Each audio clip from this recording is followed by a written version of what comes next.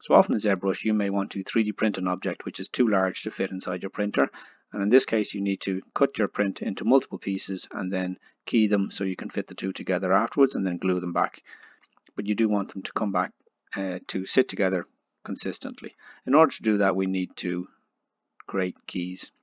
So in this instance I have two separate meshes here. They're just they've got flat planes on them and nothing else uh, where I want to connect the two.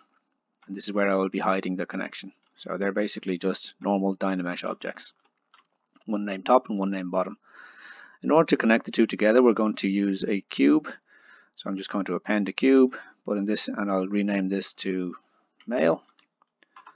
Uh, I do however want to change this to have fewer polygons so I'm going to scroll down to the initialize tab initialize roll up down here and change this to QCube we'll go into solo mode to have a look at this and I'll turn on the ZModeler brush and holding down alt remove some of these extra loops to simplify it even more now that we have that we can go into transparent mode so we can see this in relation to the other objects I'm going to move it by pressing W and holding up and I'm going to scale this down so it fits inside our model and you can see that fits inside the handle. We do however need it to overlap slightly this lower piece down here so when I select this again I'm just going to make sure that this overlaps slightly over that this edge. Now that we have that we can go to the deformers and choose taper and we'll just taper this in a little bit. So because we only have one loop or we, we don't have that those middle loops this will taper in nicely on both front and back. So we can accept that and say that that's our male piece now done. Um, obviously we need a female piece, so I'm going to duplicate that and we'll rename this one to female. And this female piece will be slightly larger than the male. So as I toggle between the two, you'll see the one is slightly smaller slight, and slightly larger than the other. So the female part I'm going to remove from the top piece.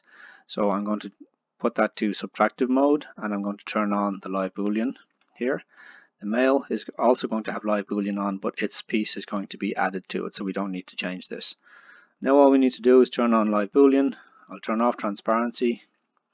I'll zoom out and we'll hit the make boolean mesh. And you'll see once these are calculated that a new tool will appear up here. And this new tool here has both of these pieces cut out from them or added to them. So as you can see here, these will fit nicely together. Both of these are already Dynamesh together. There is no overlapping, intersecting uh, stuff going on here. So these are still watertight meshes um, ready for 3D printing immediately.